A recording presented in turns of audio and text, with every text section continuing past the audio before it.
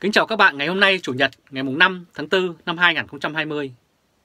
Kính mời các bạn xem bản tin Đại dịch cúm Vũ Hán, vũ khí để Nga và Trung Quốc bóp méo thông tin chống lại châu Âu.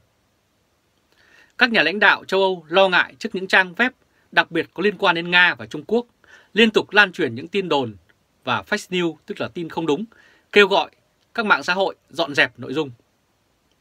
Theo tờ Le Modern, việc bóp méo thông tin về đại dịch cúm Vũ Hán đã trở thành vũ khí thực sự cho những thế lực muốn gây bất ổn tại Liên hiệp châu Âu và tìm cách thuyết phục rằng châu Âu đang sụp đổ.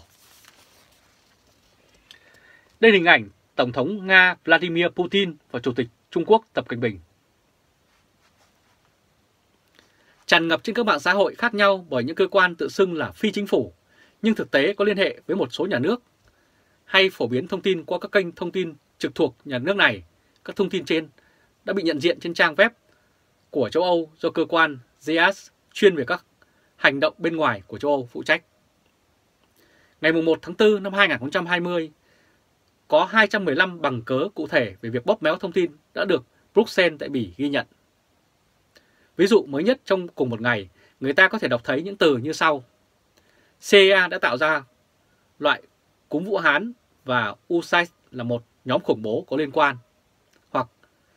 Cáo buộc Trung Quốc về đại dịch là chiến lược vu khống cũng giống như tố cáo Nga bắn rơi máy bay MH17. Và tiếp theo, Quốc hội Ý đã hạ cho hạ xuống lá cờ của Liên hiệp châu Âu và những người bảo vệ môi trường vô cùng vui mừng coi đại dịch là cơ hội và rất nhiều những thông tin khác. Trên mạng xã hội và Internet hiện đang lan tràn những tin vịt với doan tính chính trị. Tất cả những tin này được phổ biến tại nhiều nước kể cả các nước châu Âu tạo thành một luồng thông tin liên tục và ngày càng mãnh liệt. Theo nhận định của Peter Sano, phát ngôn viên của Cao ủy Đối ngoại Joseph Borrell. Và các tin tức rõ ràng mang tính chính trị ở trên cộng với các thông tin được cho là phương pháp để chữa trị cúm Vũ Hán như một ví dụ như uống nước Java hay uống cồn nguyên chất hoặc uống thật nhiều vitamin C đã khiến cho Chủ tịch Ủy ban châu Âu bà Ursula Leyen đã phải công khai tố cáo là các thông tin bóp méo có thể làm chết người. Đây là hình ảnh đoàn đại biểu Mỹ tại Thế vận hội quân sự 2019 tại Vũ Hán vào ngày 18 tháng 10 năm 2019. Qua sự kiện này, Trung Quốc gây nên một luồng dư luận trong nước rằng cúm chủng mới bắt nguồn từ một trong những vận động viên quân đội Mỹ này. Chi nhánh tiếng Đức của hãng tin Nga Sputnik mới đây thông qua trang Facebook và Twitter đã khẳng định rửa tay chẳng có tác dụng gì cả.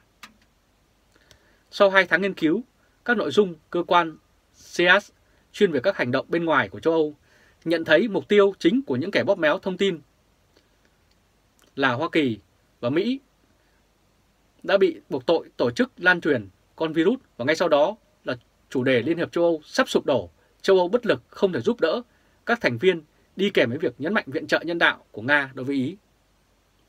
Hướng tuyên truyền thứ ba là loại cúm này có thể được tung ra để ngăn chặn sự phát triển của Trung Quốc. Và chủ đề thứ tư là cuộc khủng hoảng, dịch tễ nằm trong kế hoạch bí mật của một giới tinh hoa toàn cầu. Cùng với vô số tin đồn nhằm mất ổn định Ukraine, đặc biệt là hồi tháng 2 đã gây ra bạo động tại một thành phố nhỏ ở miền Trung khi lan truyền tin vịt nhiều người bị nhiễm, nhiễm cúm đã được đưa về từ Vũ Hán. Thường xuyên được cho là thủ phạm dù châu Âu tránh nêu tên trực tiếp, Nga bác bỏ mọi liên quan đến chiến dịch tuyên truyền này. Một phát ngôn viên của Điện Kremlin nói cho rằng là vô căn cứ và phi lý. Và những nguồn tin, Trung Quốc cũng rất tích cực hoạt động vừa để chống lại những chỉ trích về xử lý khủng hoảng của Bắc Kinh, vừa củng cố hình ảnh của Trung Quốc trên trường quốc tế, đồng thời nhằm ổn định nội bộ. Nhiều tài khoản tweet giả mạo được người Trung Quốc sử dụng để xỏ xiên vai trò các mạnh thường quân châu Âu và ở châu Phi. Đây là hình ảnh của cuộc họp tại Nghị viện châu Âu. Một số nhân tố khác như Syria tố cáo châu Âu duy trì trừng phạt trong thời đại dịch, hoặc là Thổ Nhĩ Kỳ lan truyền rộng rãi các luận điệu chống châu Âu, hoặc là từ một số nước ban căng đe dọa rằng châu Âu sẽ xâm lăng bằng vũ khí sinh học. Và làm thế nào để đáp trả? Một câu hỏi được đặt ra, phát ngôn viên Stato đã nói như sau. Chúng ta sẽ không đáp trả đũa bằng các chiến dịch phản tuyên truyền, nhưng qua việc nêu ra các sự kiện thức tỉnh lương tâm giúp công chúng tránh các nguồn bất minh. Bà von der Leyen thì muốn dựa vào các vai trò của các phương tiện truyền thông uy tín và đáng tin cậy. Tổng thư ký Jane Stoltenberg vào hôm 1 tháng 4 năm 2020 khi được hỏi về việc trả đũa của NATO cũng nhấn mạnh rằng vai trò vẫn còn rất quan trọng của truyền thông tự do trong thời kỳ khủng hoảng. Và NATO cũng là nạn nhân bị fake news chiếu cố. Chẳng hạn một kênh thông tin của Nga khẳng định một quân nhân Mỹ tại Litva bị dương tính với cúm Vũ Hán. Về phần các nghị sĩ châu Âu, gần đây đã gửi thư cho Chủ tịch Hội đồng châu Âu Charles Michel và bà Ursula von der Leyen để đòi hỏi cần phải có các hành động mạnh mẽ hơn đối với Nga và Trung Quốc. Và Ủy ban châu Âu khẳng định việc đang làm việc với các trang mạng và Phó Chủ tịch Verona vào hôm 27 tháng 3 gặp gỡ với các đại gia đã, đã ký kết hợp tác chống bóp méo thông tin với Google, Facebook và Twitter. Và các tập đoàn này cho biết đã gỡ bỏ rất nhiều nội dung không đúng sự thật. Chủ tịch Trung Quốc Tập Cận Bình đang tiếp xúc với các nhà lãnh đạo châu Âu để quảng bá chiến dịch và chiến lược vành đai và con đường của ông ta. Tuy nhiên, tờ báo Le Monde của Pháp thì cho rằng không phải tất cả các tin quy cho quân đội Mỹ đã gieo rắc cúm Vũ Hán vẫn còn đang lên tuyên truyền như vậy. Facebook khẳng định đã tăng gấp đôi nỗ lực nhằm loại đi những thông tin độc hại và hứa lập ra một bộ phận chuyên dõi theo dõi các nội dung. Tweet thì muốn xóa tất cả những phương thức và chiêu thức giả hiệu chống cúm Vũ Hán. Tuy vậy, các mạng xã hội cũng cho biết trước quy mô của hiện tượng tin giả cần phải cầu viện đến trí tuệ nhân tạo để thay cho nhiều nhân viên đang bị cách ly hoặc nhiễm bệnh. Bà Verona tỏ ra không bị thuyết phục mấy và cho rằng các mạng xã hội lớn cần phải gia tăng nỗ lực và chứng tỏ kết quả. Cao ủy nhấn mạnh đến lợi ích của châu Âu khi chống lại nạn bóp méo thông tin trong thời kỳ đại dịch. Đây là một lời cảnh báo lịch sự. Vào lúc châu Âu đang chuẩn bị kế hoạch hành động vì nền dân chủ châu Âu, trong đó chú trọng đến tính minh bạch và trách nhiệm của các nhân tố trên Internet. Và Thượng nghị sĩ Cộng hòa Rich Coscott vào hôm thứ Ba ngày 31 tháng 3 đã kêu gọi Quốc hội Mỹ hãy tổ chức điều trần và mở cuộc điều tra toàn diện về vai trò của Tổ chức Y tế Thế giới trong việc giúp đỡ Trung Quốc che giấu mối đe dọa của đại dịch cúm Vũ Hán. Đây là hình ảnh Tổng Giám đốc Tổ chức Y tế Thế giới Theros đã gặp Chủ tịch Trung Quốc Tập Cận Bình tại Bắc Kinh vào ngày 28 tháng 1 năm 2020. Theo Bright News, ông Scott đã nói trong một tuyên bố phát đi vào hôm 31 tháng 3 rằng nhiệm vụ của Tổ chức Y tế Thế giới là cung cấp thông tin sức khỏe cộng đồng cho thế giới để tất cả các nước có thể đưa ra quyết định tốt nhất nhằm bảo vệ công dân của họ an toàn. Xét về nhiệm vụ này của Tổ, Tổ chức Y tế Thế giới trong dịch cúm Vũ Hán thì họ đã thất bại. Họ cần phải chịu trách nhiệm về vai trò của mình trong việc thúc đẩy tin sai lệch và giúp Trung Quốc Cộng sản che giấu một đại dịch toàn cầu.